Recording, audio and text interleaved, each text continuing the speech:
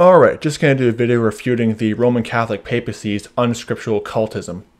Because the Roman Catholic Church has all the hallmarks of a cult. They have essentially one of the biggest hallmarks is taking away the Word of God from people. You know, back in the 1200s and back in the Middle Ages, they tried to persecute the Word of God and prevent people from reading the scriptures themselves because the Word of God contradicts Roman Catholic heresies. It's that simple. But let's go through some scriptures that totally destroy this unscriptural cultism of the Roman Catholic papacy. First of all, the Catholic papacy violates Peter's outline for the conduct of elders. 1 Peter chapter 5 verse 1 to 4. The elders which are among you I exhort, who am also an elder and a witness of the sufferings of Christ, and also a partaker of the glory that shall be revealed. Feed the flock of God which is among you, taking the oversight thereof, not by constraint, but willingly, not for filthy lucre, but of a ready mind neither as being lords over God's heritage, but being ensamples to the flock. And when the chief shepherd shall appear, ye shall receive a crown of glory that fadeth not away. Neither being lords over God's heritage. You're supposed to be a servant to the flock. If you're an elder or a bishop or, or a deacon, you're a servant. You're not some kind of a dictator like the Pope is. So the whole hierarchy of the Roman Catholic Church is blatantly unscriptural in the fact of, of them trying to be this, this lording cult-like authority over the over the flock.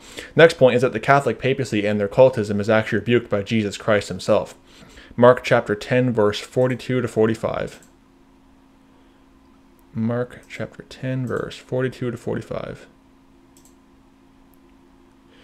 But Jesus called them to him and saith unto them, Ye know that they which are accounted to rule over the Gentiles exercise lordship over them, and their great ones exercise authority upon them. But so shall it not be among you.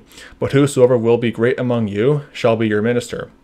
And whosoever of you will be the chief will be the chiefest shall be the ser- shall be servant of all. For even the Son of Man came not to be ministered unto, but the minister, and to give his life a ransom for many. Okay, again, this he's talking to his apostles here, and he, even he's telling them, you know, the kings and of the Gentiles and the rulers, they exercise lordship, but it should not be that way among you.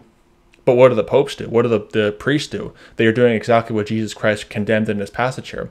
They're being this, this they're lording over the people. They're exercising lordship over them. They're essentially just the usurpers of Christ's authority. That that's been a common attribute of the old harlot of Revelation 17, 18 throughout history.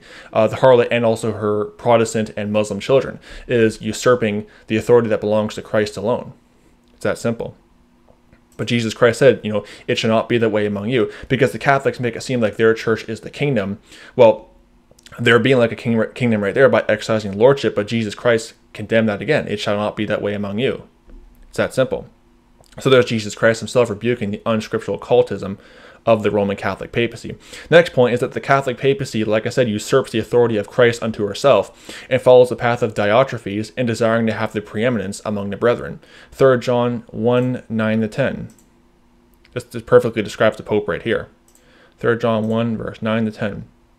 I wrote unto the church, but Diotrephes, who loveth to have the preeminence among them, receiveth us not. Wherefore, if I come, I will remember his deeds, which he doeth, prating against us with malicious words, and not content therewith, neither doth he himself receive the brethren, and forbiddeth them that would, and casteth them out of the church. That's exactly what the Pope does, or what he thinks he has the authority to do.